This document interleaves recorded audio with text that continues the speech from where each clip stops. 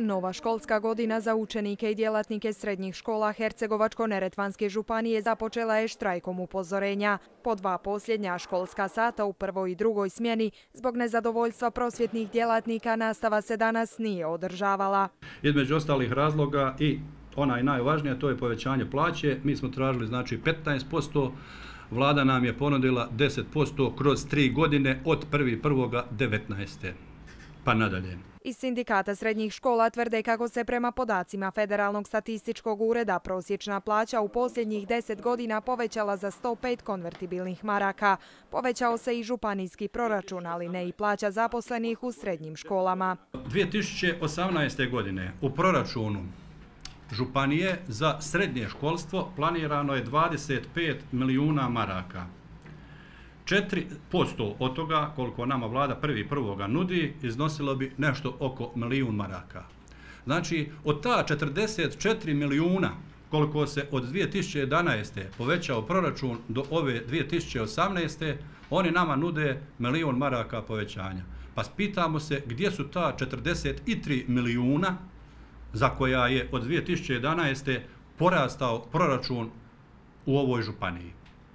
Kome to ide? Znači, i tada je nama plaća, moja je plaća i 2011. je bila 950 maraka i evo 2018. je isto 950 maraka. Proračun se povećao za 44 milijuna prosječna federalna je porasla za 100 maraka. Pa kome je to raste prosječna federalna plaća? Ko je taj ko nabija prosjek u Federaciji Bosne i Hercegovine? S druge strane, iz vlade su podsjetili kako je sa sindikatom srednjih škola u veljači ove godine potpisan kolektivni ugovor na tada obostrano zadovoljstvo. Dodali su i kako su uvijek otvoreni za konstruktivne razgovore. Oni su prihvatili iste plate kao što su bile, kao što su im bile do sada. I promijenili mišljenje do sada?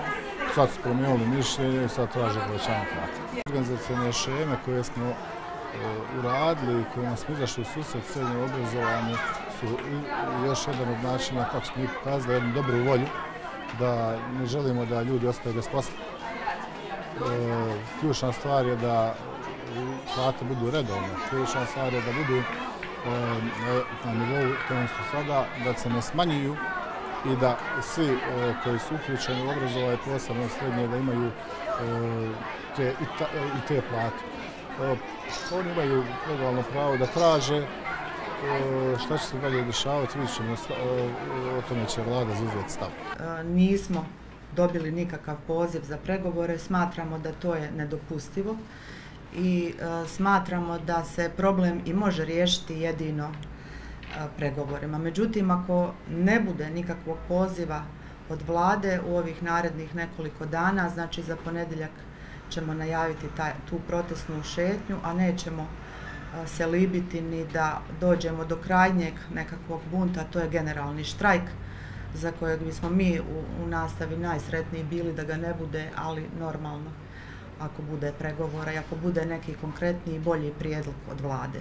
Tijekom današnje konferencije za medije istaknuto je kako je Hercegovačko-Neretvanska županija jedina županija koja prošle godine nije imala natječaje za prijem novih djelatnika. Danas se treba održati i štrajk upozorenja članova nezavisnog sindikata državnih službenika i namještenika u organima državne službe u Hercegovačko-Neretvanskoj županiji, no on je odgođen za dva dana jer ih je vlada umeđu vremenu pozvala na razgovor.